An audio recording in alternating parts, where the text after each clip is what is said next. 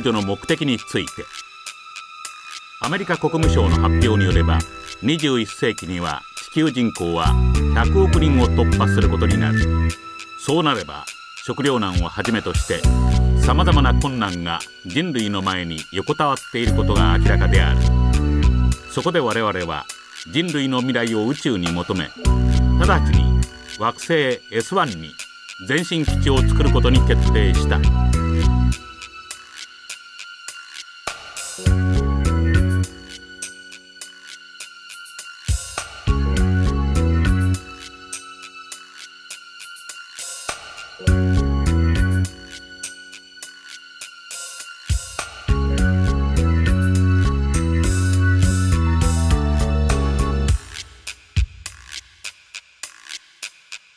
コードネームスーパーワンについて。惑星 S1 に前進基地を作るにあたって我々は予想されうる数多くの困難な事態を想定した。これらの困難に対処するために我々は人間を超える惑星工作員超人の研究に着手することにした。それがコードネームスーパーワンである。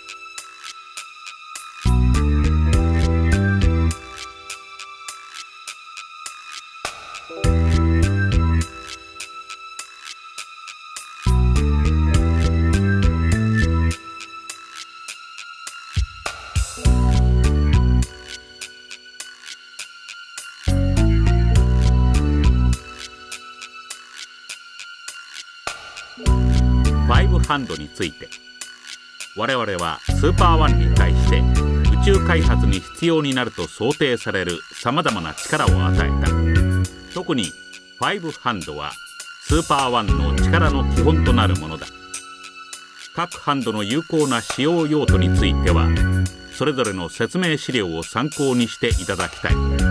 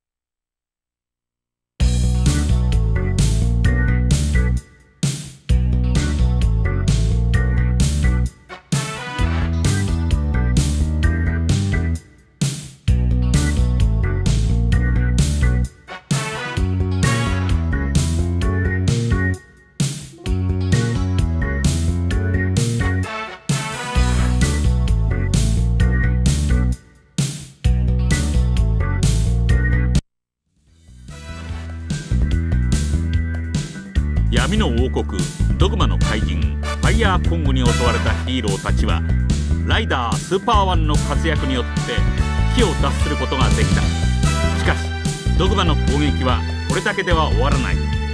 これから幾度となくヒーローたちを苦しめることになるはずだ。果たしてヒーローたちはこの危機を乗り切ることができるのであろうか。今悪の王国ドグマの打倒を胸に秘めてヒーローたちは疾走を開始した。戦えヒーロー。負けるなヒーロー。悪の野望をくじくまで立ち止まることは許されないのだ。